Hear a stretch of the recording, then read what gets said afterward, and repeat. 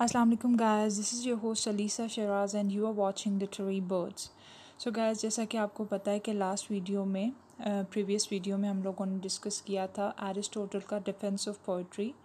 जो कि प्लेटो पे उसने जो ऑब्जेक्शंस लगाई थी पोइट्री के बारे में तो आज उसको थोड़ाली डिस्कस करेंगे कि कैसे जो है वो पोइट्री जो है हिस्ट्री पे कैसे सुपीरियर है और कैसे poetry is higher than history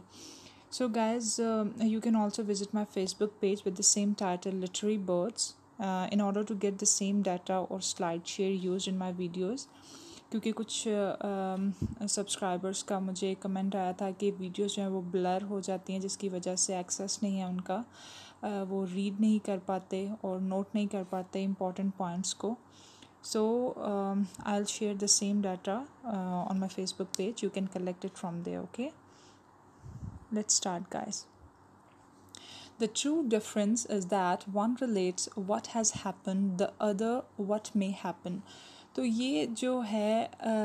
poetry पे एरिस्टोटल का जो था कि एक चीज़ हिस्ट्री में जो कि आपको बता दी गई है, जबकि पोइट्री के पास ये कैपेबिलिटी है कि वो आने वाली जो चीज़ है उसके बारे में भी आपको प्रोडिक्शन दे सकती है और आपको बता सकती है कि जो हालात हैं उनसे कैसे आप उनको सॉर्ट आउट करोगे। ये पूरा मैं पढ़ के आपको इसकी समरी बता देती हूँ। The true difference is that one relates what has happen the other what may happen poetry therefore is a more philosophical and a higher thing than history. For poetry tends to express the universal, history the particular. By the universal, I mean how a person of a certain type on occasions speak or act, according to the law of probability or necessity. ये जो quotation है ये आप आ, अपने exams में add कर सकते हो और ये पोइटिक्स से ली गई है जो कि एरिस्टोटल ने लिखी थी on the defence of poetry तो गाइस इसका ये मतलब है कि जो हिस्ट्री है वो तो uh, उसे जिस तरह प्लाटो ने कहा है कि हिस्ट्री और फिलोसफी है वही बस uh, बेहतर हैं जबकि पोइट्री को उसने अपने रिपब्लिक में बिल्कुल बैन कर दिया कि ये उन्हें इजाज़त ही नहीं दी कि वो uh, उसकी रिपब्लिक में उनका ज़िक्र किया जाए। और उसने बेहद कंडेम किया और मजम्मत की पोइट, पोइट्स की और पोइट्री की अपनी रिपब्लिक में। तो यहाँ वो एरिस्टोटल आपको ये बता रहा है कि जो डिफरेंस है वो ये है कि हिस्ट्री जो है वो आपको बताती है क्या हुआ था। हम लोग हिस्ट्री में यही पढ़ते हैं ना, पिछली बातें कि क्या हुआ था, क्या इंसिडेंट्स थे, क्या इवेंट्स थे। जबकि पोइट्री हमें बता सकती है कि उनसे कैसे, उनको कैसे बेहतर बनाया जा सकता है, उनके बारे में इन्फॉर्म भी करेगी आपको आपको ये भी बताएगी कि उसको कैसे बेहतर कर सकते हो। जैसा कि उन्नीस सौ पैंसठ की जंग में आपने सुना होगा अपने बड़ों से कि नूरजहाँ के नगमों से बहुत ज़्यादा हमारे जो मुजाहिद थे, उनके अंदर बहुत वलवला अंगेज़ी पैदा हुई थी। उनके उस पोइट्री से वो बहुत ज़्यादा उनके अंदर हिम्मत आई थी और वो ज़्यादा अच्छे तरीके से लड़ सके थे। तो तो ये सारा बैकग्राउंड अपने जहन में रखिए। For for poetry tends to express the universal history the particular जो पोइट्री है, वो हमें यूनिवर्सल अप्रोच देती है। यानी कुछ ऐसी, ये बहुत ज़बरदस्त वीडियो होगी क्या जिसमें हम लोग शेक्सपियर को भी डिस्कस करेंगे, जिससे पता लगेगा कि कैसे यानी पोइट्री जो है, वो हिस्ट्री पे सुपीरियर है। और जबकि हिस्ट्री जो है वो पर्टिकुलर है. बाय द यूनिवर्सल यानी यूनिवर्सल अप्रोच के के वफाकी, के दुनियावी तरीके से एरिस्टोटल का क्या मतलब है? I mean how a person of a certain type on occasion speak और act according to law of probability और नेसेसिटी आगे चलते हैं guys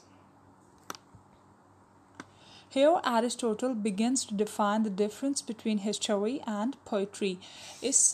कोटेशन uh, में एरिस्टोटल ने क्या किया है हमें डिफ़ाइन किया है कि कैसे हिस्ट्री जो है वो पोइट्री से डिफरेंट है he makes some clear distinction straight way First of history relates what has happened as opposed to poetry which discusses what may happen. जैसे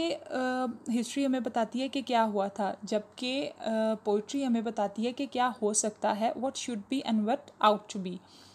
तो history addresses that of the particular it is way of cataloguing our past poetry to Aristotle then is more philosophical and a higher thing ये जो है, उसने, यानी Aristotle ने बताया है, ये दो कोटेशंस भी छोटी छोटी हैं व्हाट मे हैपन और what has happen what has happen हमें बताती है हिस्ट्री और वट मे हैपन हमें क्या बताती है पोइट्री के क्या हो सकता है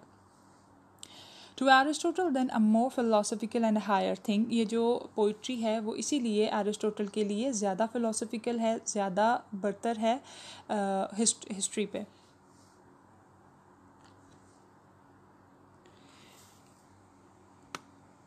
Poetry is an argument medium. Poetry is an arguments medium a way to access the hearts of millions आपको जैसे पता है कि पोइट्री की जो लैंग्वेज होती है, वो सब इंसान समझ जाते हैं। चाहे इंसान पढ़ा लिखा है, चाहे अनपढ़ है, आप उसके सामने कोई शेर कहोगे या पोइट्री कहोगे, या कोई भी सॉन्ग ऐसा जिस तरह बड़े दुखी सॉन्ग होते हैं तो आप किसी के सामने सुनाओ उसे या गा के बताओ तो वो उस सारी बात को समझ जाएगा। एरिस्टोटल ने क्यों पोइट्री को सुपीरियर का हिस्ट्री पे, अगर आप हिस्ट्री का ही मैसेज पोइट्री के थ्रू कन्वे करते हो तो वो बच्चे को, बड़े को, अनपढ़ को पढ़े लिखे को, सबको समझ आएगा और उसके जहन में इतने अच्छे तरीके से बैठ जाएगा जितना कि फ़िलासफ़ी और हिस्ट्री नहीं बैठ सकती, क्योंकि इनको मुश्किल समझा जाता है और वही अगर चीज़ आप, वही टॉपिक अगर पोइट्री के थ्रू पेश करोगे तो वो जहन में बहुत अच्छे तरीके से बैठ जाएगा।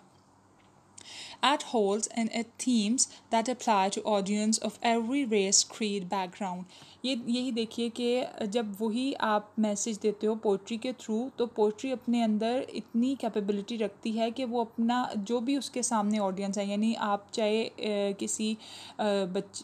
यानी छोटी एज के इंसान को सुना रहे हो या आप बड़े को सुना रहे हो या किसी भी रेस और किसी भी क्रीड किसी भी बैकग्राउंड के आ, से रिलेटेड आप बता रहे हो किसी इंसान को या आ, किसी किसी भी जगह पे तो वो उसको बड़े अच्छे तरीके से समझ सकेंगे। Poetry speaks of universal emotions those thing most based not necessarily based in a negative way that everyone hold in their heart अब आप इमोशंस uh, जो हैं वो हर इंसान में पाए जाते हैं। आप किसी भी लैंग्वेज में आप जब रोते हो तो सब हर, हर इंसान सम कोई भी देखने वाला समझ जाएगा कि आपको ज़रूर कोई टेंशन है या परेशानी है। ठीक है? इमोशंस जो होते हैं वो यूनिवर्सल होते हैं यूनिवर्सल होते हैं। कोई भी आपको जज कर सकता है। अगर आप खुश हो तो ऑब्वियसली आप खुश हो किसी बात पे, आप मुस्कुरा रहे हो। अगर आप रो रहे हो तो ऑब्वियसली कोई मसला है या कोई टेंशन है आपके साथ। I think that a good example would be looking would be looking at words that can be found in every language words that are universal such as love और हेट ये जो मैंने आपको बताया कि जो लैंग्वेज होती है वो तकरीबन कुछ अल्फाज ऐसे हैं जैसे लव है तो आ, आप किसी भी लैंग्वेज से बिलोंग करते हो यानी कोई भी लैंग्वेज आपकी है तो कुछ ऐसे अल्फाज होते हैं जो आपको बहुत अच्छे तरीके से समझ आ समझ आ जाते हैं Every culture has a definition of what these mean. Those affection which are almost instinctual to us. On the other hand, there are not always translation of, for example, an event which is specific either historically or culturally relevant to a country अब कोई भी ऐसा topic ले लें या कोई भी ऐसी चीज़ ले लें जो आपके या तो हिस्टोरिकल बैकग्राउंड रखती है या कल्चरल बैकग्राउंड रखती है अगर तो उसमें कुछ ऐसे अल्फाज यूज़ हुए हैं तो वो आपको बड़े अच्छे तरीके से याद रह जाता है for personal experience for personal experience, I can say that most of my friends have no idea about certain Polish historical events. Those have simply been irrelevant to their growing up in the US. The same goes for Annie, traditions that I might bring to our apartment. Nobody knows that once Smingus Dengus, the Monday after Easter, you are supposed to splash buckets of water on each other. But all of my roommates recognize what I'm doing when I end a phone call to my mom saying, Kokham Kai, iska matlab hai I love you. These emotions are universal things that transcends any of our cultural or background differences. अब यही आपको बता रहे हैं या यहाँ Aristotle के जो लैंग्वेज होती है, वो कुछ ऐसे अल्फाज जो आपके जहन में बैठ जाते हैं या कुछ इस तरह की बातें, चाहे इंसान पढ़ा लिखा हो, ना हो लव हेट इमोशंस के बारे में किसको नहीं पता सबकी अप्रोच है इन लफ्ज़ों तक तो इस तरह जब पोइट्री में ये अल्फाज यूज़ होते हैं तो बहुत अच्छे तरीके से समझ आ जाते हैं सुनने वाले को। अब देखते हैं गाइस के ये ये सारा टॉपिक जो है, इससे आपको बेहतर तरीके से समझ आ जाएगी, क्योंकि अब एरिस्टोटल जो है, वो शेक्सपियर के साथ इस चीज़ को कैसे दिखाएगा? क्योंकि शेक्सपियर की तो मोस्टली जो उनके प्लेस थे, वो हिस्टोरिकल बैकग्राउंड रखते थे तो इस पर कैसे लागू होता है एरिस्टोटल का ये कॉन्सेप्ट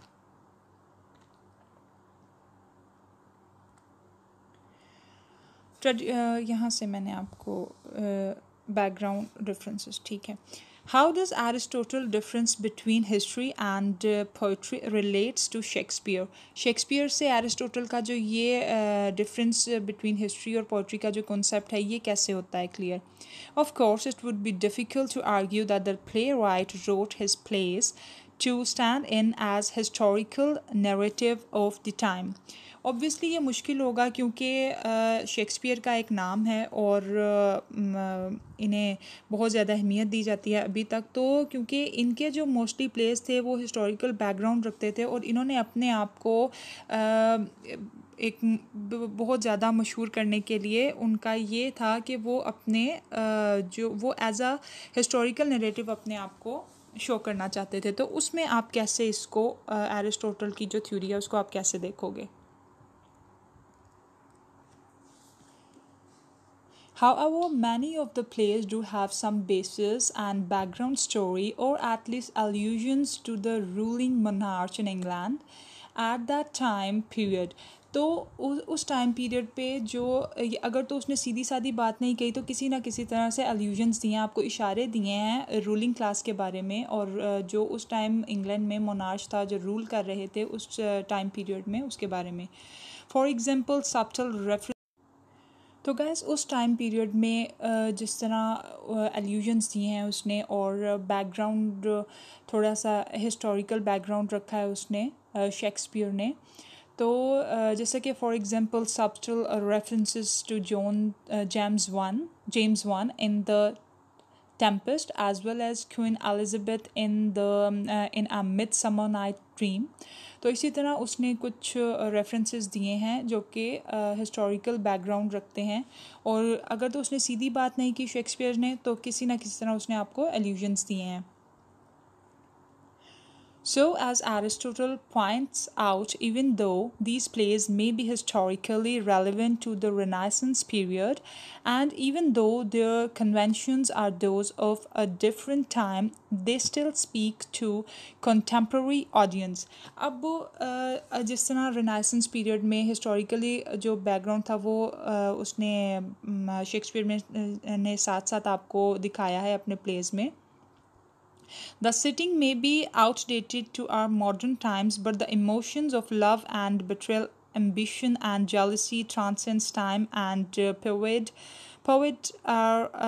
everyday life अब गाइस जिस तरह के वो था मोनार्च टाइम था और uh, इसी तरह बादशाह और क्वीन एलिज़ाबेथ वाली ये चीज़ें जो सब थी बेशक वो चीज़ें आज हमें अपने मॉडर्न uh, टाइम्स में नज़र नहीं आती लेकिन क्या चीज़ है जो अभी भी एरिस्टोटल की जो कॉन्सेप्ट uh, है उसको शेक्सपियर के साथ जोड़ता है, क्योंकि शेक्सपियर के जितने भी किरदार थे, उनमें emotions passions love betrayal ambition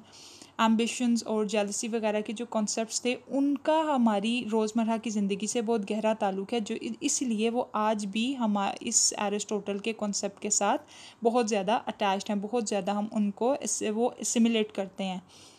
This is exactly why Shakespeare is so relatable even in his most historical plays, such as Richard III. Though the plot may focus on the succession of leaders, the real story lies in the motives and emotions of characters that stand the test of uh, the rest of time.